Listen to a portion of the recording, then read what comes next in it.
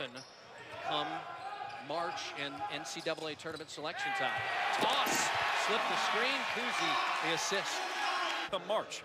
And look at this, Kuhse off the screen and roll and Tass. Fitts drives with a reverse. And Malik Fitts, who gets you a dozen a game, the South Florida transfer. Number 15, Utah State on the road, 6 and 1 St. Mary's. Gypped here tonight and not getting to see two guys that are on the top 30 list to start the year healthy. Fitts, a nice move inside. He's got two more. You have the other all-conference player, Malik Fitts. He loves to face up. He likes that spin move on route to the basket. Could go on and on. That San Diego State team beat Creighton in Las Vegas by 31 yesterday. foul and count it. That's Tommy Kuhse. What again? Look, he, he attacks the basket. He got there in two dribbles. You see the defender. Is that Justin Bean picked up his third he foul? just did. Yep. Wow. Fitts feeds down on the post to Tass. He's got that matchup again. Out to Fitts for three. It's good. Nine to go. Two three-pointers by Malik Fitts. Great pass, but Brito can't finish. And ahead, here's Tass on the run out. The finger roll.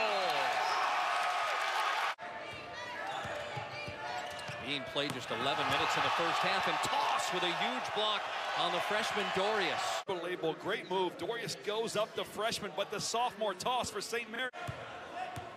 Points in the paint were big, 20 for St. Mary's in that first half. Almost one a minute. Ford, a great move on the baseline.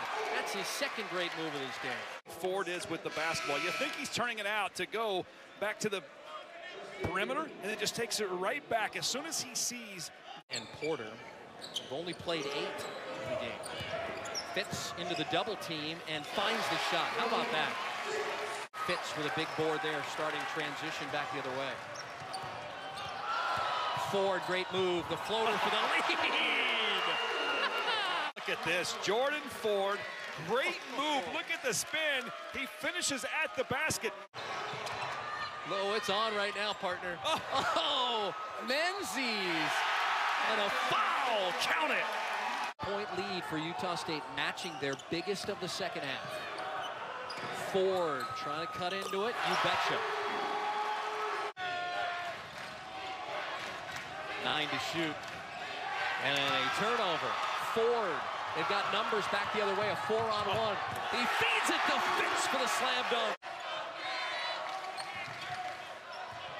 Ford got the screen from Tass, launches the three, and buries it.